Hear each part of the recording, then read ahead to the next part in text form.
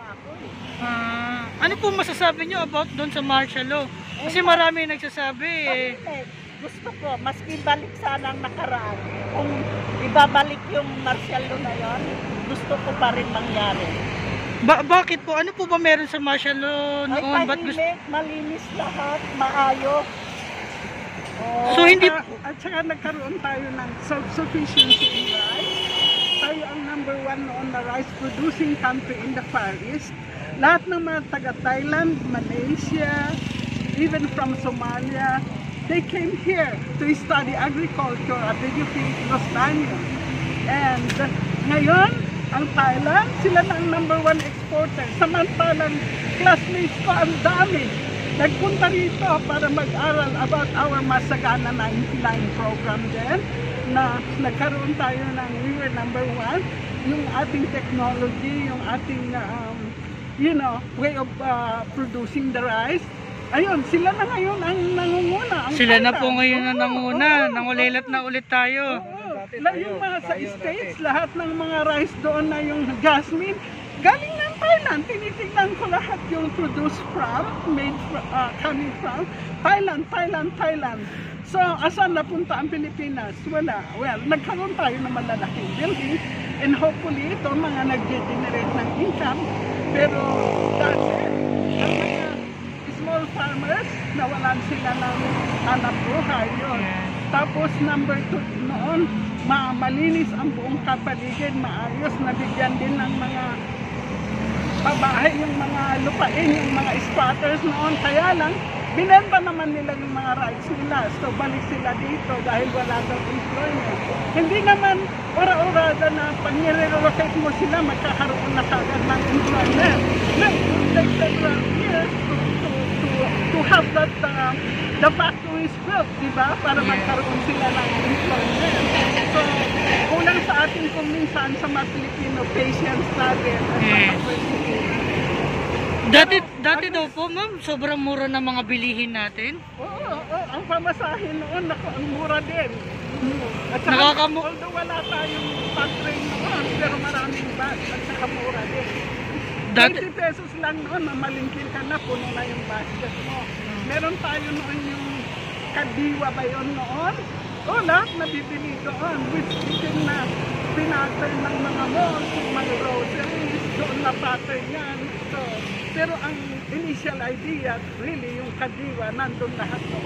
yan po yung panahon ng Marcos ma'am, yung kadiwa. Ano po yung kadiwa, madam? Kasi hindi ko po alam, hindi pa namin naabutan yun eh.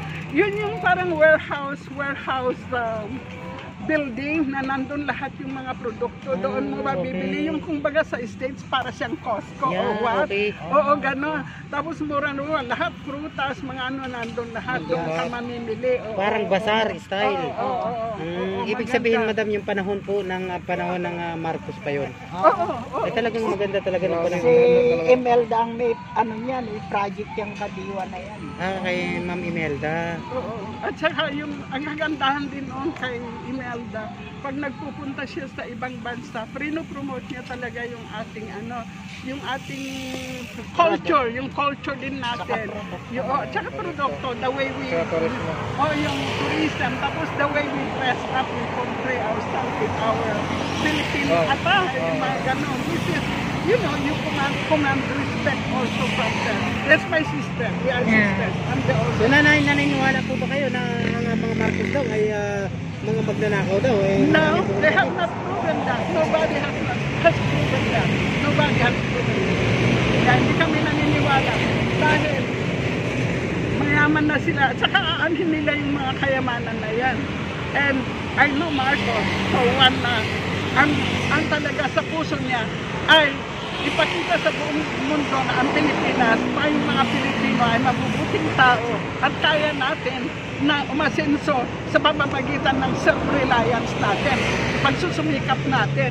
Kaya yun, na-develop na, naging number one nga tayo, self-sufficiency. Ginawa niya yung yung rural electrification, sa kanya yan, nagkaroon ng elektrisidad ang buong bansa dahil sa kanya. Number two, number three, kinonect niya from Apari down to Mindanao, yung mga bridges, mga roads, dinevelop niya yan.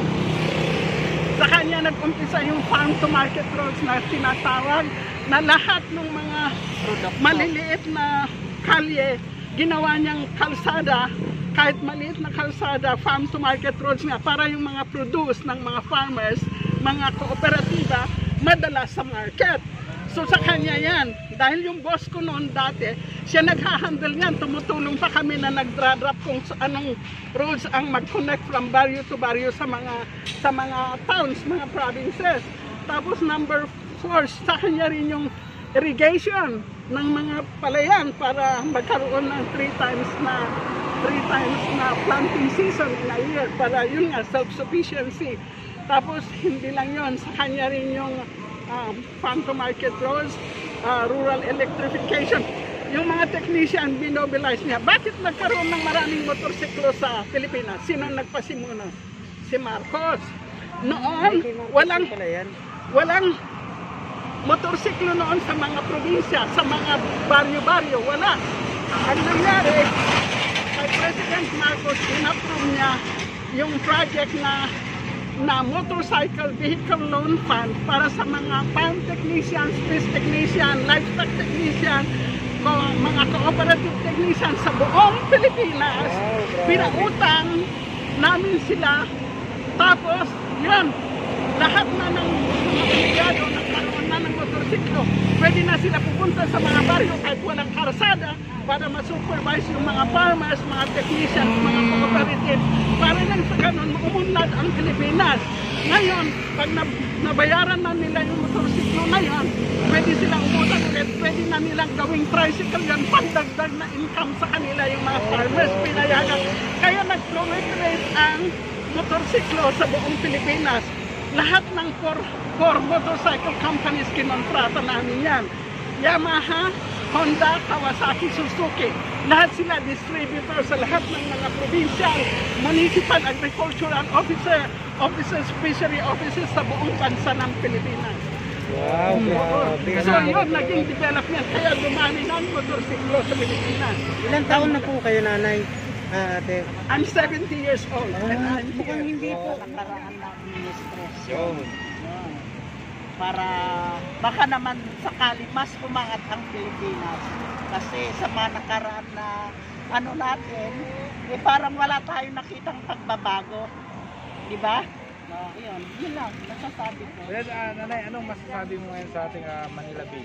Ah, maganda, malinis.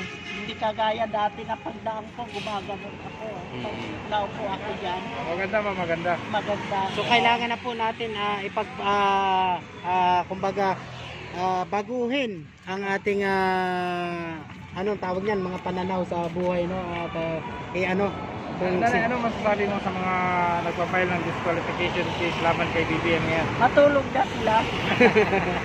Di ba? Matulog na muna sila. Kasi gising na yung mga tao. Oo. Kaya sila naman matulog na muna. Oo. wala. eh, at magising na nanay no Oo.